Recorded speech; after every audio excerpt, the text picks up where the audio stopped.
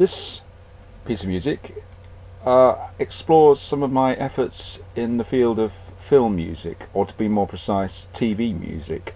Um, I did a number of collaborations in the 1990s with a director called David Hevey, um, who made uh, TV films for BBC Two and also Channel 4.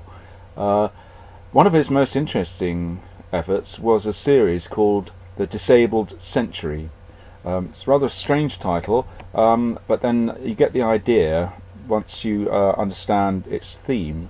Um, it's really about the untold story of many disabled people during the 20th century and um, their experiences in a society that wasn't always terribly sympathetic towards them. And, and it really, it, it very much explores that uh, people with various kinds of disabilities um, are still human beings just like everybody else, and they have just as rich lives and they contribute just as much in their way to our society and culture. Um, in particular, in the music for this part of the Disabled Century, the, the music I'm featuring today, um, there's a, a, group of, well, I think they're probably all dead now, but there was a group uh, known as the Guinea Pigs, and they were a group of fighter pilots from World War II, the very, very young pilots who fought in the Battle of Britain, and a number of them were very seriously injured in crashes, and in particular, they were very badly burnt. And they're known, they called themselves humorously, the guinea pigs because they were some of the first people in this country to be treated by plastic surgery.